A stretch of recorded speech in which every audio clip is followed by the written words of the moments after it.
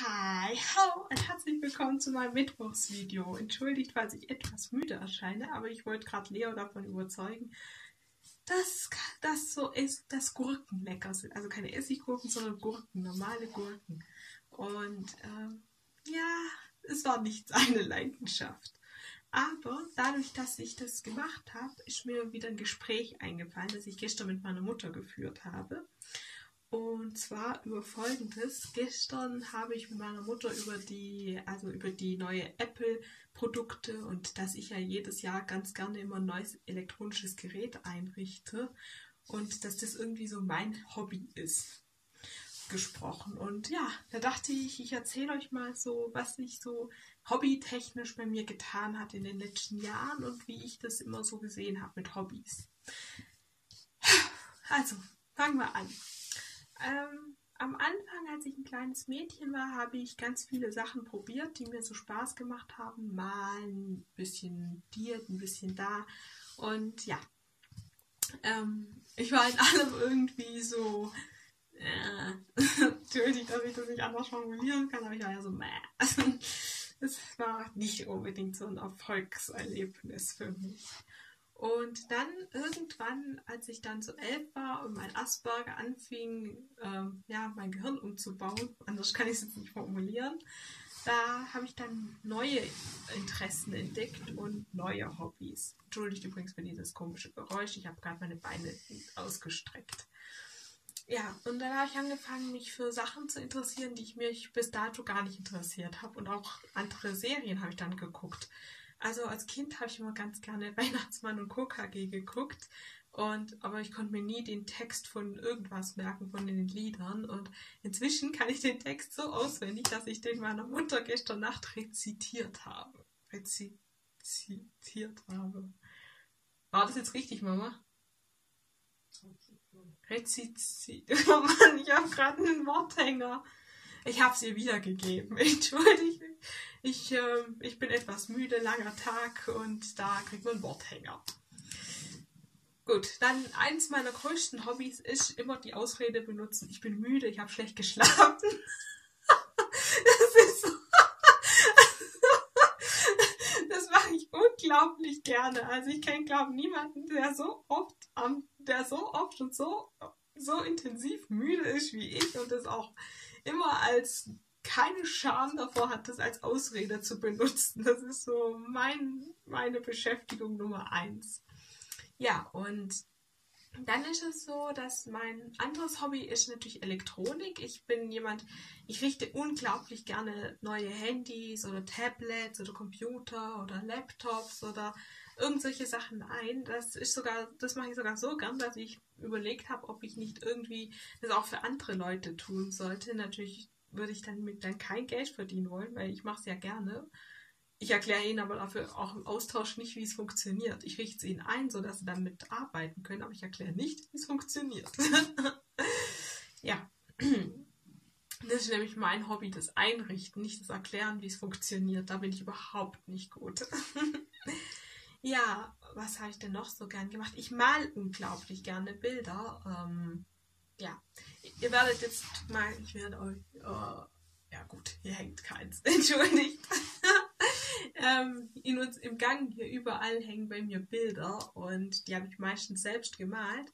Und ja, ich bin nicht gut im Malen, das kann ich jetzt nicht sagen, finde ich für meinen Teil. Meine Mutter findet, ich wäre eine gute Zeit, mal, ich wäre gut im Malen, mein Vater sagt es mir auch. Aber ich für meinen Teil, ich finde die mal, ich bin nicht so wirklich so das Gelbe vom Ei. Ich, weil ich habe immer so ein Bild im Kopf und das auf die Leinwand zu bringen, das ist irgendwie dann immer schwer. Zurzeit aber finde ich, ist es für mich etwas einfacher, weil ich habe gerade ein Bild, ich habe gerade ein Projekt angefangen, ein neues Bild. Vielleicht habe ich das schon in meinem Update erzählt, dass ich ein neues Bild angefangen habe. Und ja, auf jeden Fall, ich bin mir jetzt nicht mehr sicher. Ich glaube, ich habe es erwähnt. Und ja, auf jeden Fall habe ich dieses Bild angefangen zu malen und wollte ich anfangen und habe mich eigentlich praktisch ja, fast drei Wochen drum gedrückt.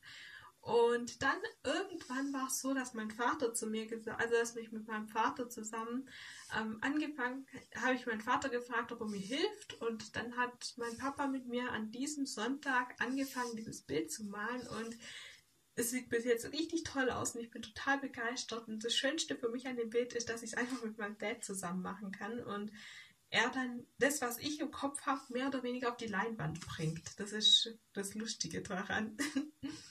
ja. Ein weiteres meiner Hobbys ist, ich koche sehr gerne. Naja, sehr gerne ist relativ, aber ich koche halt. Und ja, ich back, aber was ich wirklich gerne mache, ist Backen. Ich mag Backen. Ich bin jemand, ich äh, liebe die Herausforderung des Backens, weil ich finde, dass es so eine gewisse ja, Logik folgt. Du kannst, du kannst nicht immer viel mehr Mehl dazufügen, weil wenn du zu viel Mehl dazufügst, dann wird der Teig trocken. Dann kannst du auch nicht zu viel Flüssigkeit dazufügen, sonst wird er nicht, sonst geht, braucht er ewig im Ofen und so. Und es hat diese Logik am hinterm Backen, die hat mich schon immer fasziniert. Und besser gesagt auch dieses, dass du immer genau die richtige Grammzahl brauchst, weil sonst funktioniert es meistens nicht. Aber jetzt ein Tipp für alle, die backen wollen. Wenn irgendwo in einem Rezept steht, ähm, dass man Hefeteig macht, glaubt mir, der Hefeteig, dem ist es total Wurst, Wumpe, egal. Ob ihr den Hefeteig jetzt erst 30 Minuten gehen lasst, dann nochmal knetet und dann nochmal 30 Minuten gehen lasst oder ob ihr ihn einfach nur eine Stunde dann am Stück gehen lasst. Und dem ist auch egal, ob ihr die Zutaten vorher einzeln verrührt oder nicht am Ende des Tages ist eh in Teigklumpen. Also schmeiße ich da immer alles direkt in, in die Schüssel rein. Meine Tante, die gut backen könnte, kann, kann, würde da jetzt eher was anderes, glaube ich, sagen. Aber ich für meinen Teil finde eben, dass es dem Teig egal ist. Ja, mm. Was ich für mich gemerkt habe, ist, ich habe keine wirklich richtigen Hobbys, weil ich mache alles, was ich mache, mache ich eben und alles macht mir auch in gewisser Form Spaß, aber ich würde jetzt nie sagen, dass ich in einer Sache wirklich total glänzend rausgehe oder dass ich da wirklich gut darin bin. Aber ich glaube, das muss man, wenn es ein Hobby ist, auch gar nicht, wenn ich gerade so drüber nachdenke. Ja, dann ist eigentlich ist es, glaube ich, im Hobby egal, ob man darin wirklich gut ist. Was, was ich glaube, was das Wichtigste ist, egal was euch da draußen Spaß macht, egal was eure Zeit was ihr gerne mit eurer Zeit machen wollt, macht's. Wenn es langs keine anderen verletzt, noch nicht euch, dann macht's einfach, weil alles was, ihr müsst darin nicht gut sein, ihr müsst darin weder irgendwie total herausstechen, ihr müsst damit weder Geld verdienen, noch müsst ihr damit irgendwie euer Leben verändern, sondern im Prinzip muss, glaube ich, ein Hobby einfach nur Spaß machen und mehr muss es nicht tun. Und im Moment, glaube ich, wenn es nach dem Motto geht, ist mein allergrößtes Hobby einfach Leo beim Rennen zuzugucken, weil wenn der da so seine Hüpfer macht, das ist einfach unglaublich.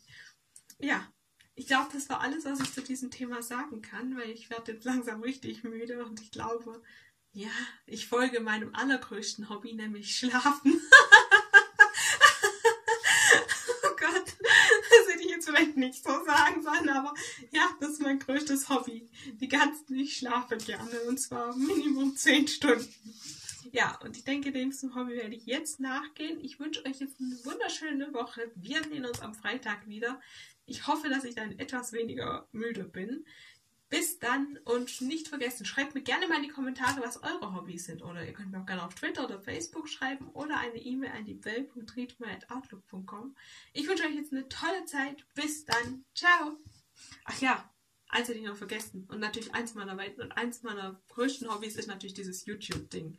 Mann, hätte ich jetzt fast vergessen, weil ich so, weil es irgendwie schon für mich so total ja, es ist sowas Tolles und ich freue mich jedes Mal, es zu machen, aber ich vergesse es immer wieder, dass es auch ein Hobby ist, weil es einfach für mich sich anfühlt, als ob ich es schon ewig mache. Und ja, ewig ist jetzt bei mir schon zwei Jahre, weil am 9.9. habe ich mein Zweijähriges gehabt. Und ich möchte alle da draußen sagen, die mir zugucken, dass ich es richtig toll finde, dass ihr mir zuguckt und dass ihr sich euch für meine Videos interessiert. Gut. Das war jetzt aber wirklich der Abschluss. Hätte ich vielleicht etwas früher sagen sollen. Bis nächste Woche. Nee, warte, bis Freitag. Bis dann. Ciao.